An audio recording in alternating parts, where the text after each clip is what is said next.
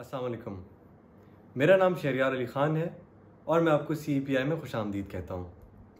नाजरीन, आज का जो हमारा टॉपिक ऑफ़ डिस्कशन है that is basically deconstructing Pakistan recent dossier on India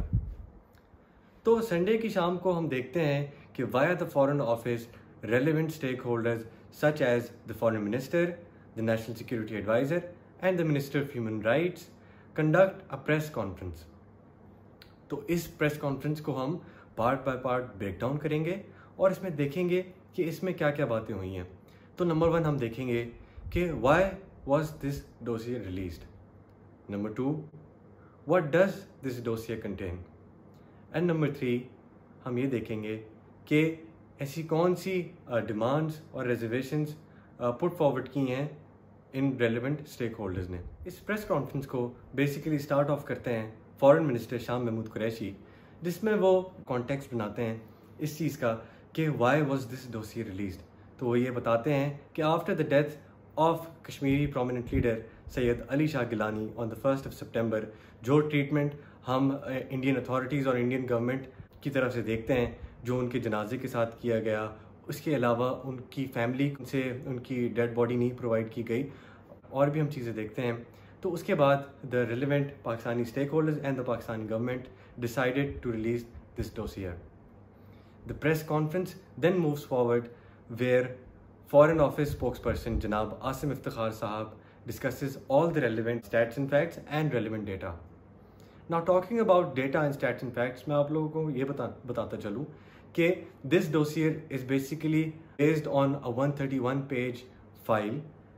which comes along with the CD of audio and video recordings of different high ranking Indian officials, which is basically a proof to Indian officials conducting massive war crimes and inhuman acts. उसके बाद हम ये देखते हैं कि conversation और press conference जो है वो आगे मूव फॉरवर्ड करती है and the minister for human rights doctor Shireen Mazari speaks up जहाँ पे वो ये बताती हैं कि किस लेवल पे Massive rapes are conducted in Kashmir by Indian officials and massive brutalities are conducted. And she basically questions the West's hypocrisy and the West's uh, duplicity in short. वो ये वो हवाला देती हैं यूएन के लॉज का four Geneva convention का U K foreign policy paper का और यूके के जो रिन्यूड लॉज हैं आफ्टर ब्रेग्जिट वो उनको भी क्वेश्चन करती हैं फिर जो है हमारी प्रेस कॉन्फ्रेंस आगे मूव फॉरवर्ड करती है। And it comes back to foreign minister Shah Mahmood Qureshi whereby he puts six demands forward वो कौन कौन सी डिमांड्स हैं, वो आप सबके सामने अब डिस्प्ले होंगी। Finally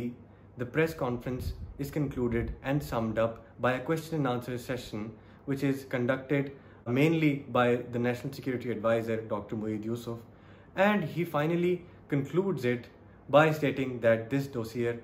is a tribute to the services and the legacy of Sayyid Ali Shah Gilani. This is it for today's video.